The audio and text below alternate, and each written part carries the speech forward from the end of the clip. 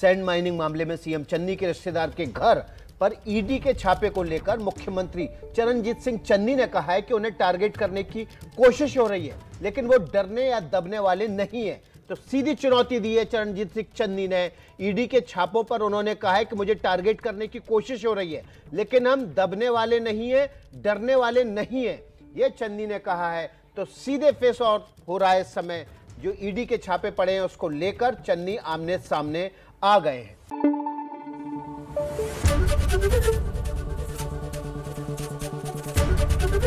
ABP news आपको रखे आगे।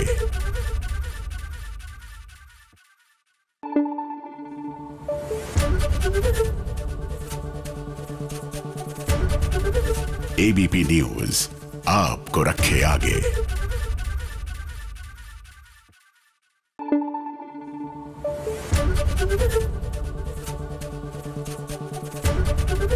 एबीपी न्यूज़ आपको रखे आगे।